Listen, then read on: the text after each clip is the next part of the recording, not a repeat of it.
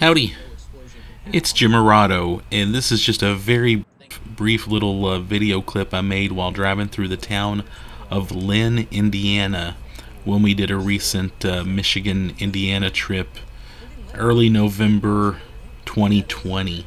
And this just looked like a really pretty little town.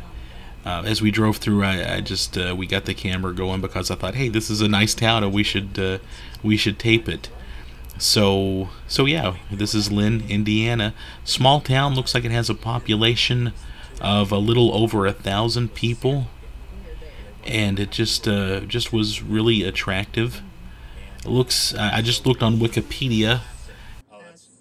I believe the post office was established around sometime in the late 1830s, and the town was kind of set up somewhere between 1830 1850 just has this neat, nice little uh, vibe to it. The one famous person listed from the town was a certain cult leader whose name I don't even like to say.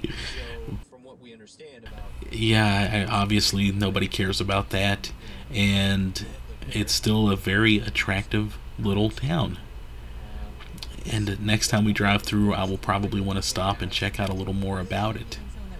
So, yeah, anyway, Lynn, Indiana.